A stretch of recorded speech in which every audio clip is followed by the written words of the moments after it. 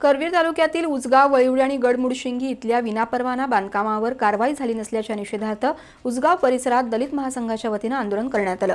यावेळी कोल्हापूर नागरिक क्षेत्र विकास प्राधिकरणाच्या भोंगळ कारभाराची प्रातिनिधिक होळी करण्यात आली. तसंच प्राधिकरणाचे नगर रचनाकार दिलीप कदम आणि कनिष्ठ आरेखक लक्ष्मण कदम यांना आंदोलकांनी धारेवर धरलं. करवीर तालुक्यातील उचगावसह गडमुडशिंगे आणि वळिवडे परिसरात विनापरवाना बांधकाम मोठ्या प्रमाणात सुरू आहेत.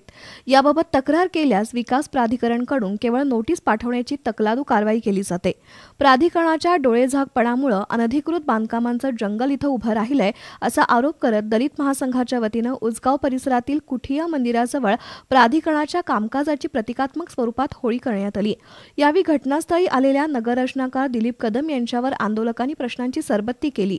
त्यावर येत्या पंधरा दिवसात बेकायदेशीर बांधकामावर कारवाई करण्याचं आश्वासन कदम यांनी दिलं.